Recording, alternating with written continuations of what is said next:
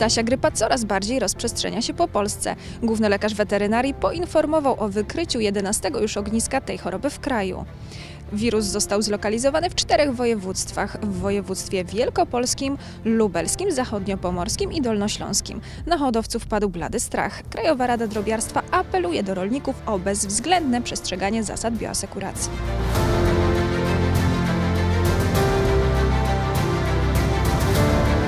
Zasady bioasekuracji polegają m.in. na niewypuszczaniu drobiu na zewnątrz, e, poje, niepojenie i niekarmienie drobiu na zewnątrz, e, stosowanie obuwia i odzieży ochronnej, a także stosowanie mat dezynfekcyjnych przed wejściem do e, pomieszczeń, w których znajduje się drób.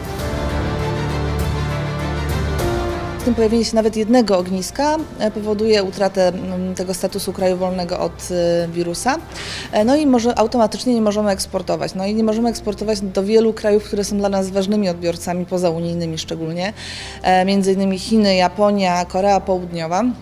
E, natomiast no, warto podkreślić, że e, Polska nadal około 74% eksportu kieruje na rynek unijny. W Unii mm, obowiązuje regionalizacja, co oznacza, że nie można eksportować tylko z tego obszaru, na którym wystąpiła grypa ptaków, no, co dla nas jest korzystne. E, natomiast no, warto tutaj dodać, że te rynki pozaunijne są dla polskiej branży drobiarskiej bardzo perspektywiczne.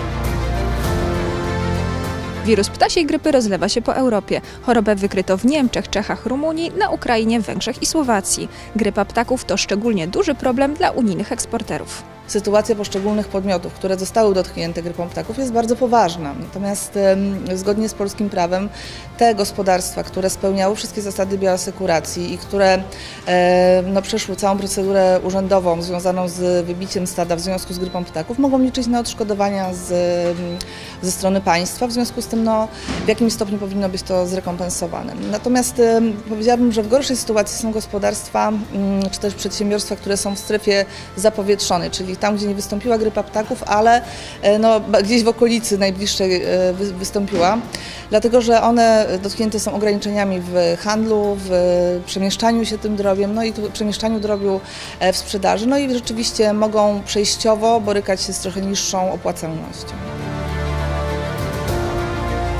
W rolnictwie jest zbyt dużo ryzyk.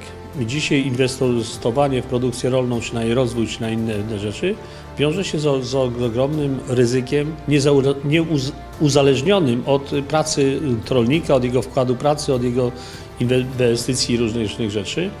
Więc trzeba stworzyć, uważam, że to sprawa pilna, fundusz ryzyka, fundusz gwarancji różnych, bo y, jeśli tak, tak, tak pójdzie dalej, to coraz mniej ludzi chętnych będzie po pozostawaniu na wsi.